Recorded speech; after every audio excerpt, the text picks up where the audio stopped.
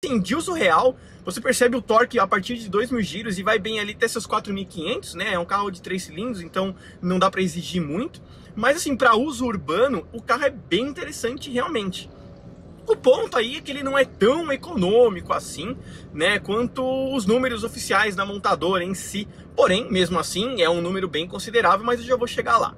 Bom, o câmbio automático de 6 velocidades aqui no caso do Onix Sedan, né, o Onix Plus, né, na realidade, é, é bem curioso o comportamento dele, porque em num ritmo bem tranquilo de condução, né, sem exigir muito do acelerador, fazendo trocas bem suaves mesmo, é, em alguns momentos você sentiu alguns trancos, isso é meio curioso, é, coisa que a gente não percebeu durante o teste, né, durante o lançamento. Por isso mesmo que eu falei para vocês que eu queria andar no carro com calma para contar esses detalhes para vocês, né, de comportamento dinâmico.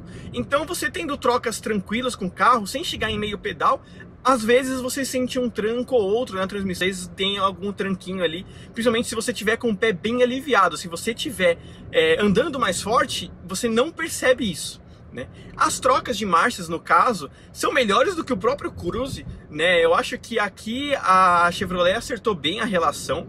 Então você tem trocas mais tranquilas, sem sentir o esforço do câmbio trabalhando. Então aqui nesse ponto realmente você percebe que o carro está trabalhando um pouco melhor, ele está é, exigindo menos do câmbio, então tem uma troca bem tranquila. Poderia ter vindo com pedal shifts ou a transmissão aqui, a manopla, ter um, uma alavanca melhor para câmbio manual. Você tem os botões aqui, como é, a Ford usava também um tempo atrás, né? É, não é muito bom de usar, mas enfim, são trocas manuais. Que um outro ponto interessante também é que as trocas são as trocas manuais acontecem na função L, que seria de low. Né? Eu acho que a GM poderia ter adaptado o L por M. Né, de manual seria mais interessante. É, deslanchar mais também e ser mais interessante de condução. Né? A direção também é super leve, a direção elétrica alivia também a motorização. Então tudo isso facilita com que o motor trabalhe melhor também, trabalhe mais folgado. Né? Então nesse ponto a GM acertou bem. Para um uso urbano de estrada sem nenhuma pretensão esportiva, é, o Onix Sedan realmente agrada bastante. E desculpa eu falar Onix Sedan, né? O carro é Onix Plus, mas ficou como Onix Sedan ou Prisma para muita gente, né? É, fato é que você tem uma posição de dirigir gostosa com o carro, é uma nova geração, né, do carro, que eu já vou contar no final ali o porquê que o carro é relativamente barato, né, vamos dizer assim. Mas você tem uma dinâmica boa, ela é um pouquinho virtual por ser elétrica, ela poderia ser um pouquinho mais precisa, mas para um uso urbano, né, para a maioria dos brasileiros que gostam de direção leve, é, a GM acertou muito bem. Outro ponto também é que por ser três cilindros, a GM acertou uma solução na caixa de direção bem interessante que você não tem a vibração do carro aqui na parte interna. Só parado você percebe um pouquinho de vibração assim no banco, mas é bem perceptível mesmo. É, o volante em si não vibra absolutamente nada, você nem nota que é um carro três cilindros.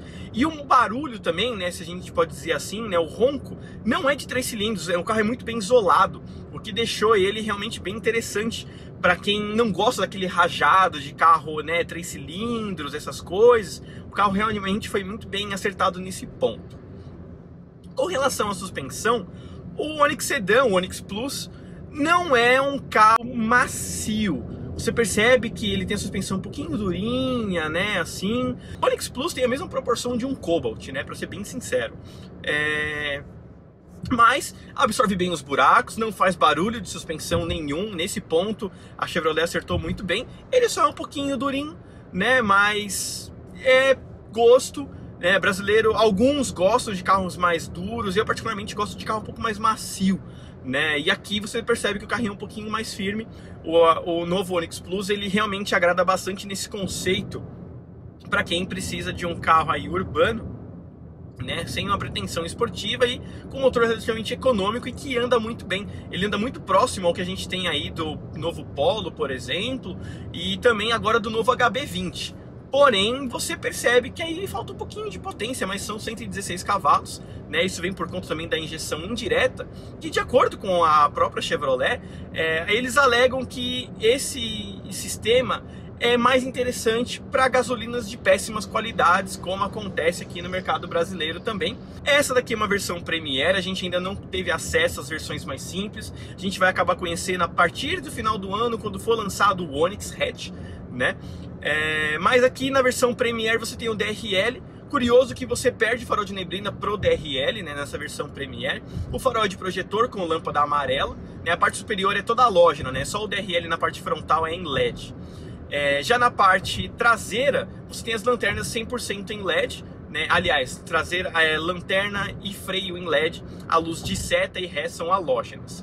É, voltando na parte dianteira, né, você percebe que tem aquela cara global, né, essa grade que a gente conhece no próprio Cruze também, na própria aquela Blazer do Camaro, né, que a gente fala, né, então você tem a gravata dividindo ali a grade, sendo a parte superior bem mais é, fina e a parte inferior com a boca bem maior, né, dando realmente um, uma cara mais agressiva para o carro.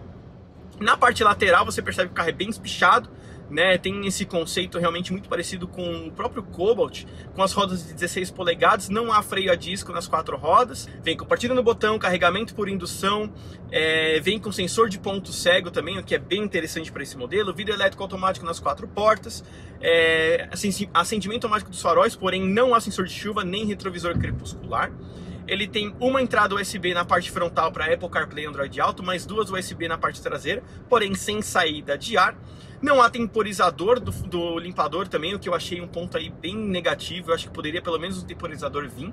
Né? O volante revestido em couro com um piloto automático e limitador de velocidade, além de acesso ao computador de bordo também, que é um velocímetro digital simples. Eu achei que poderia ter vindo o velocímetro, por exemplo, da Blazer, que é mais atrativo, apesar de ser monocromático também.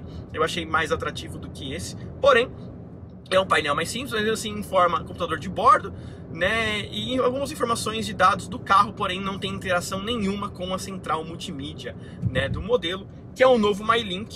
Como eu já tinha dito, ele tem Apple CarPlay, Android Auto, não há GPS integrado, deixando bem claro isso, né? Não há GPS integrado para este modelo.